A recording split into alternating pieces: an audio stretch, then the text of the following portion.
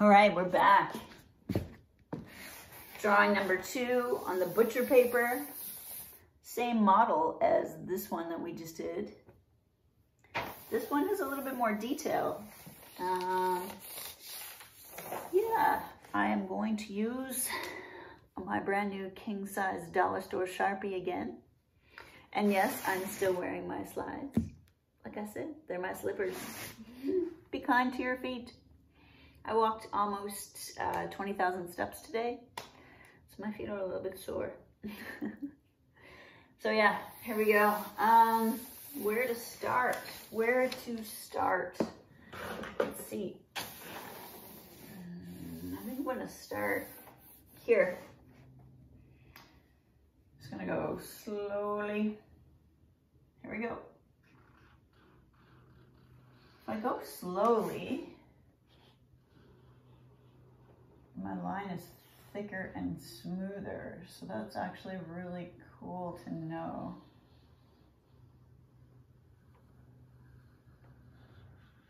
I'm wearing my pajamas. I am kind of in relaxation mode a little bit. Oh, this marker has a nice fine point so that I can do the eye detail, which I love so much. A lot of what I love about these drawings is a finer point. I'm gonna do this one little swipe of hair.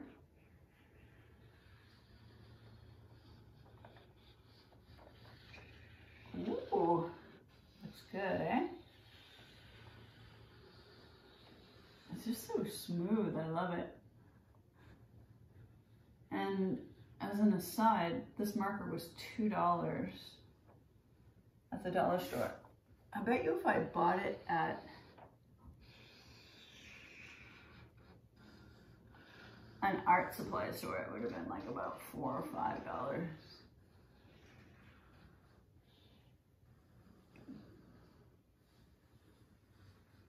Doing really good with smoothness. It is not breaking up at all. And I'm going nice and slow. Uh, this model's name is Amanda, same as the one that we did in the first of this uh, butcher paper series. And she's actually wearing my uh, leather coat in this. This leather coat has a story. It was featured in uh, an Emily Carr grad project this year for sustainability. This leather jacket is a Mackage leather jacket um, from Aritzia. It is retails for, I don't know, maybe close to like a thousand dollars. It's a special edition, uh, different type of leather and I got it in Toronto at a thrift store called the Design Exchange. So they're out of business now. Um, they went out of business about a year ago. But they were this really cool consignment store that would give you cash for your clothing or they would take your clothing in, sell it, and you could have an account so me being the regular kind of thrift shop person, I used to do both.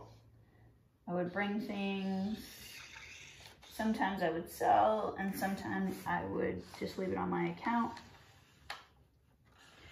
And I was in there one day, and a lady came in and put a giant pile of stuff on the counter, and I spotted this jacket right away. I knew it right away. I'd been seeing it in Aritzia, um, they have them all locked up in the store as you typically do leather jackets. And I waited for her to leave and I went over to the counter and I asked the guy, I said, are you gonna price that right now? And he said, why? I said, well, depending on how much the price is, I will buy it. So he said, how about a hundred bucks? And I said, sold. And I wore this when I was shooting Fashion Week.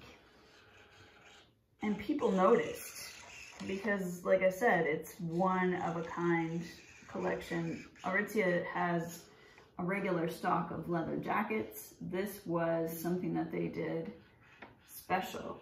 The tan of the hide is special. It's black and the consistency of the leather is special. And I got noticed with this $100 thrifted Mackage jacket. And I use it a lot in my shoots. And we're done. What do you think?